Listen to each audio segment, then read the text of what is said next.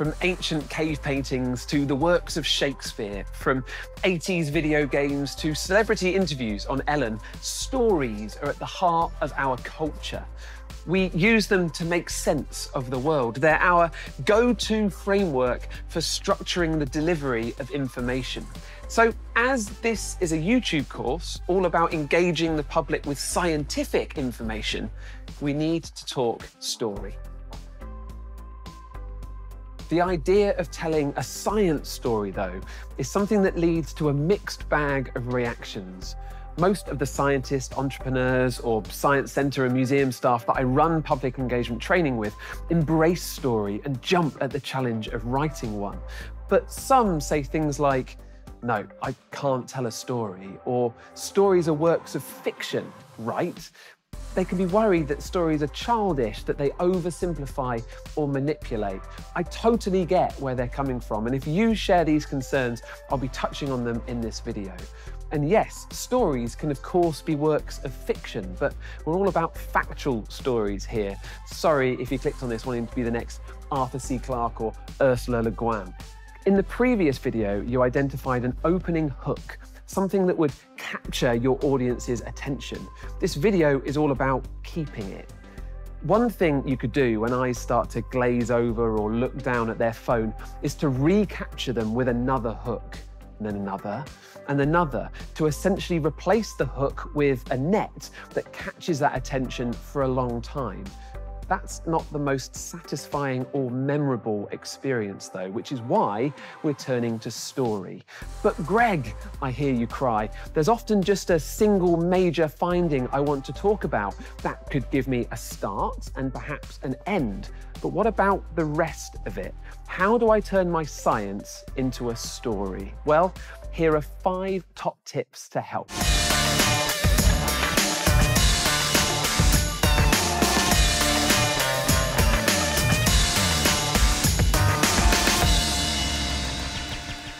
Follow the tried and tested structure. From short and sharp anecdotes to sweeping epics, a story always boils down to the same thing.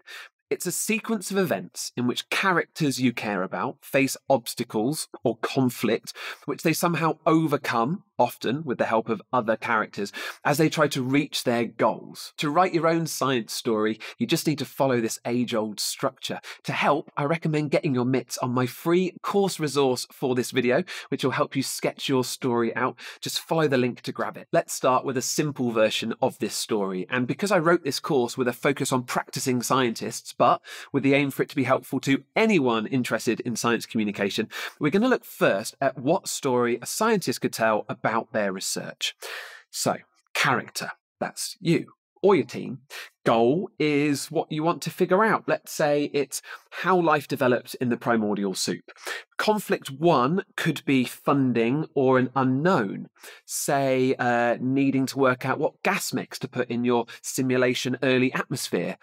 A second conflict may come along later, maybe an experiment that went wrong or you couldn't get hold of a bit of kit like a spark generator to create that right model of lightning strike.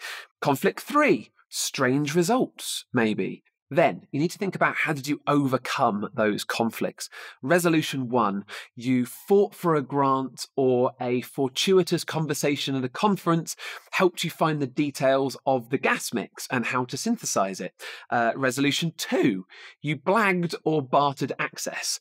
Resolution three, maybe this one took a while, uh, but you realized that the mass spec peak was actually from an unknown contaminant. Exploring what the components of your story might be can help you spot what they should be. Which steps were actually important? Where did your project really take a significant step back or leap forwards? Those are the key points in your story that offer great periods of conflict or moments of resolution. Weave in an emotional thread. Scientists are often portrayed as white coated, objective automatons working in a lab, unemotionally uncovering the fundamental laws of the universe, which, as we know, is wrong in so many ways, but mainly because you are a real person dealing with all the normal strife of life. And research is hard, so it's definitely emotional. But this is exactly what will lift your story. As we discussed in the previous video, emotions are contagious, so share yours. Talk about the exhausting late nights fixing broken kit, the boredom of pipetting 5,342 vials, the nervous excitement before you crunched that data, the elation or the confusion when you saw that plot for the first time. Admit that scientists don't always know what they're setting out to find, that part of the excitement is being an explorer, happily lost in the woods, seeing what treasure you may come across. Add these elements of emotional story alongside your science story, and you'll take your audience on the roller coaster with you. The course resource for this video has a column for you to add this, by the way. Get creative with character. Time to level up. Rather than the central hero or protagonist of the story being you or your team, could it be the virus that you're working on, or the Bitcoin you're looking at mining more sustainably? Or, if you research the northern lights, how about a photon of light from the sun? Let's play that last one out. So it's created during nuclear fusion deep in the sun's core. Then it's got to battle through densely packed protons, which can take thousands to millions of years. On through the convective zone, uh, it needs to make it past the dust and electrons threatening to scatter it into the solar atmosphere. Then, eight minutes later, after travelling 150 million kilometres, it reaches Earth, where it hits the magnetosphere, the photon is funneled down towards the North Pole, where it bumps into an atom in the Earth's atmosphere, excites it, and produces one tiny part of the beautiful dancing colours of the aurora. Let me know your thoughts on this more creative type of story in the comments. It's more interesting for sure, and you can still thread plenty of science into it, but I'd love to hear your views. Give your audience a map. Have you ever been watching a brilliant speaker or listening to a great podcast and you suddenly realize that although you're hooked and you've been paying attention, you've no idea where in the story you are or where it's going? Of course, not knowing what's coming up next could be a deliberate move by the storyteller to create suspense or mystery. But personally, especially with a science story, I like to know where I am right now, where I've been, and where I'm going. I don't need to know the details of the finale, just to have a sense of the journey that I'm on. This is signposting, and whether your story is told chronologically or not, it's helpful to geotag where you are. Near the start, give us a glimpse of the journey that we're going to go on. Occasionally remind us where we are and how we got here and how far we still have to go. And make sure that when we arrive, we know we've arrived. No one talks about how Elvis entered the building. The beginning and end of your story are the most important. Nail those, and you nail the talk, the blog, the interview. To do that, craft a careful, deliberate finale to your story. Do you end on an unexpected finding that you didn't see coming? Everyone loves a good plot twist.